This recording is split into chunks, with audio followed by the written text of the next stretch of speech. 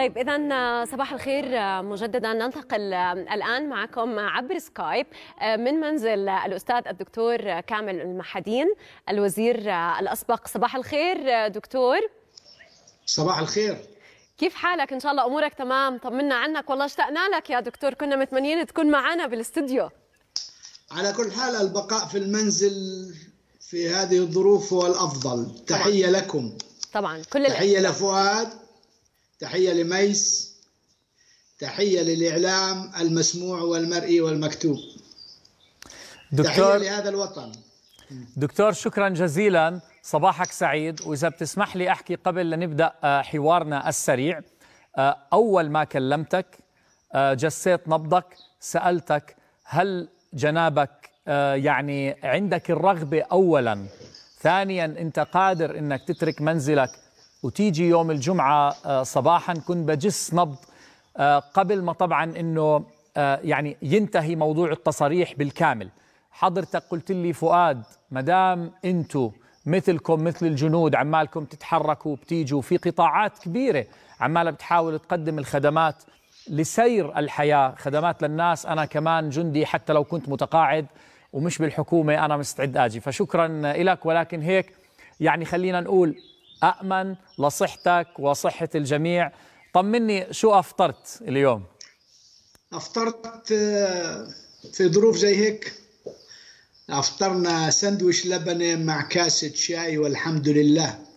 كويس. الحمد لله. إن شاء الله صحة وهنا إن شاء الله صحة وهنا برافو دكتور. صحة وهنا صحة وهنا دكتور. طيب دكتور إذا دعنا بصورة كيف تقضي وقتك في البيت؟ أنت أيضا أستاذ لطلاب الهندسة في الجامعة الأمريكية في مادبا. الآن التواصل مع الطالبات والطلاب يكون عبر التعليم الإلكتروني أو التواصل الإلكتروني. فكيف تتواصل الآن مع طلابك؟ كيف تقضي وقتك أيضا في البيت؟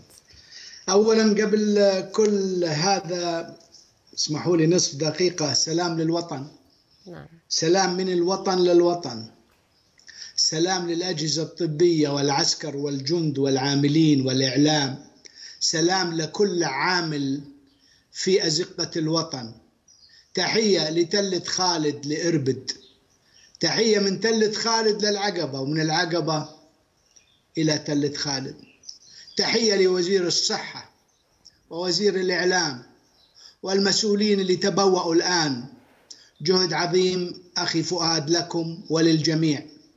أما بالنسبة منذ بدء التعليم عن بعد بدأنا بعمل محاضرات وهذه المحاضرات أخذت شقين شق التعليم عن البعد بواسطة المودم أو الاتصالات للجامعة دخول الطلاب وأيضا أشارك بها في بث مباشر على الفيسبوك. أنا صار لي فترة طويلة ببث بعض من هذه لكن كثفتها كل يوم في حوالي اثنين من محاضرتين. وأيضا المهندس يزن ولدي قام بعمل قناة يوتيوب وبدأنا نبث محاضرات في العمارة في الهندسة المعمارية في التصميم في النباتات أو شو بتقدر تسوي أنت في البيت؟ تستطيع العمل كثير في البيت. الأهم أن تبقى في البيت أن يكون قلبك مؤمن بأنه لن يمسنا ضر إلا إذا أردنا الضر بنفسنا. نعم. فقط لا غير. فلذلك حوائط المدن كلها بدأت تتهاوى. من روما لإسطنبول للقاهرة مس بيت لحم ضرر. مس مكة ضرر. عندما لا يستطيع المؤمن أن يتوجه للصلاة أعتقد أننا في مأزق. ولن نستطيع أن نتفادى المأزق إلا إذا مسكنا قلم أو مسكنا كتاب حتى نستطيع أن نستفيد مما نحن فيه. دكتور إذا بتسمح لي بس للتوضيح. يعني نعم. أعمل هالمداخلة وأترك لك التعليق. الآن المواد اللي عمالك بتعلمها للطلبة. بغض نعم. النظر إذا في يعني سيستم بينك وبين جامعتك هذا موضوع. الآن عمالك بتحط جهد شخصي من خلال النقل المباشر عن طريق الفيسبوك. حضرتك عمالك يعني بترسم وعمالك بتشتغل. وبتورجيهم يعني بتعرض حصة كاملة كأنك يعني آه، في مرسم هندسي أمامك والآن خبرتنا على موضوع القناة اليوتيوب أنا فقط نعم. اللي بدي أحكيه إنه الجهد اللي عمالك بتقدمه ما عمالك بتقدمه لطلابك وطالباتك فقط يعني نعم. ممكن نعم. أي واحد في أي جامعة أي شخص نعم. مهتم أي طالب يقدر يتواصل معك وعمالك بتقدم كمان استشارات إن كان على الهاتف أو إن كان عبر منصات التواصل الاجتماعي وبيقدروا يستفيدوا من العلم اللي عمالك بتقدمه. ولا أنا غلطان؟ سيدي فؤاد لن أكون أفضل من ممرض في مستشفى. عطائي لا يقارن مع دكتور أو ممرض أو عسكري في ثغرة من ثغرات الوطن يحاول أن يغلقها. لكن أنا بقول لك شو بسوي. قبل حوالي أربع خمس شهور بثيت فيديو. مدته نصف ساعة. هذا الفيديو اللي أنا بثيته قبل حوالي أربعة أيام وصل مليون وأربعمائة ألف مشاهد من 18 دولة في العالم العربي. وبعض الأحيان من الجزائر تونس معماريين. نحن في العمل المعماري أو في القانوني أو في أي تخصص واجب علينا في هذه الظروف أن نكون زيكم إعلاميين بالحصافة والفكر وفي كل كلام يمكن أن يبث التفاؤل والثقة بالنفس. لا نستطيع أن نهزم شيء إلا إذا هزمنا قلبنا أو انهزم قلبنا. زي العسكري. نعم نعم. إني لأق... إني لأقسم بالإله. قسما تخر له الجباه. تخيل لوين؟ ببنوه في عشر سنوات خمس سنوات من التدريب عشرين سنة أن يبقى واقف حتى يجي اليوم اللي ما تهتز أسوار الوطن. فلذلك اليوم هذه الأيام أثبتت كلنا واقفين لكن اللي واقف في الشارع يحمي واللي في المستشفى يداوي. الله يعينه إنه مش شايف أهله وإحنا قاعدين في بيوتنا. ذكر أحدهم شغله ممتازة. قال الملل والجذر أنتم اليوم جرانين في دوركم. احمدوا ربكم إنه ما في خوف وظلم وموت. هذا حدا تحدث فيه قبل كذا يوم.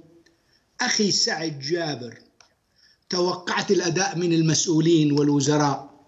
مررنا في ظروف في العقبة في الربيع العربي كنت مسؤول. المسؤولية صعبة. من يتبوأ المسؤولية في هذه الظروف كلنا لازم نقول الله يعطيهم العافية. صحيح. أشكرك دكتور كل الاحترام طبعا لكل ما ذكرته.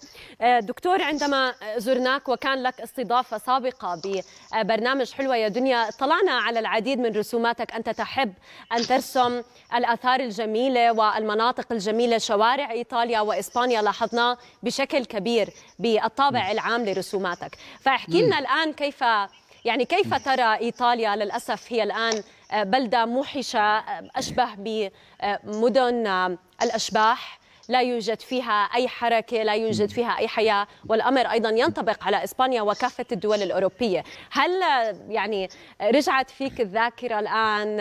رسمت أي من الرسومات إلى إيطاليا؟ بنحب أنك تطلعنا على بعض رسوماتك وإن لم ترسم مؤخرا لإيطاليا وإسبانيا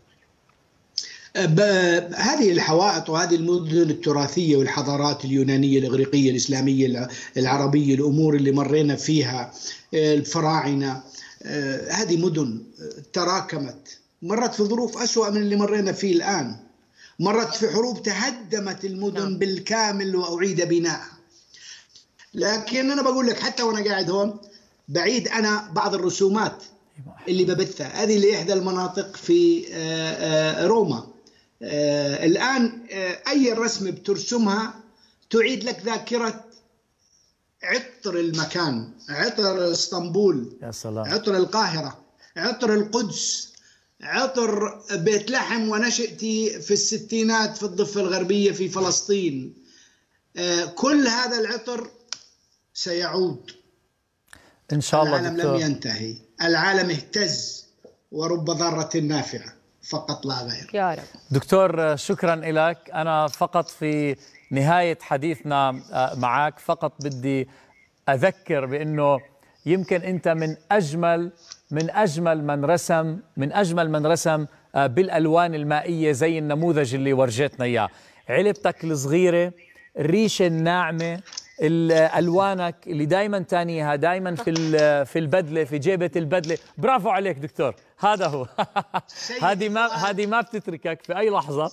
تفتحها وتبدا ترسم. الله يعطيك العافية. دقيقة بس ثانية ثانية. دقيقة لميس ولفؤاد تحية لكم.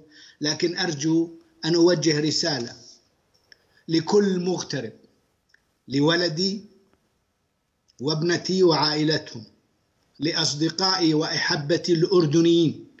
أينما كنتم؟ أعانكم الله. تحية لهذا الوطن المعطاء. تحية لسيف البادية الأردنية. تحية للجيش العربي المصطفوي. تحية لقائد البلاد وأهل البلاد. نشكرك. دكتور بنضم صوتنا لصوتك نتمنى لك السلامة دائما لبلادنا وقيادتنا. كل الخير. شكرا على هالإطلالة اللي كانت معنا في حلوة يا دنيا. نتمنى أن نلتقي إن شاء الله قريبا. وتنور استوديو حلوة يا دنيا مرة ثانية إن شاء الله. شكرا جزيلا دكتور. نهارك طيب. دير بالك حالك أشكرك. أشكرك سيدي. أشكرك.